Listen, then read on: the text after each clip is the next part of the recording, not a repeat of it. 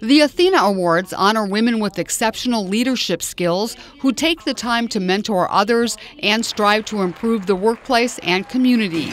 Gosh, these awards, they honor the excellence in leadership and community service, the profound impact of creating opportunities for women to grow, succeed, and thrive. Finalists were recognized at the annual awards luncheon. Among those finalists for the Leadership Award, West Palm Beach City Administrator Faye Johnson. Faye Johnson. And among the finalists for the Young Professional Leadership Award, Jennifer Ferriel, the city's Director of Housing and Community Development. Jennifer Ferriel.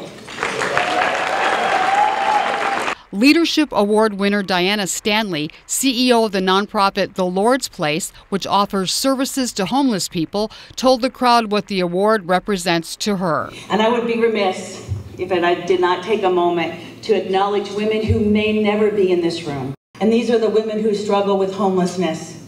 These are the women who struggle with poverty and mental health and substance use disorder. Make no mistake, my friends, they are as deserving as all of us to be mentored, to be supported, to be heard, and to be empowered.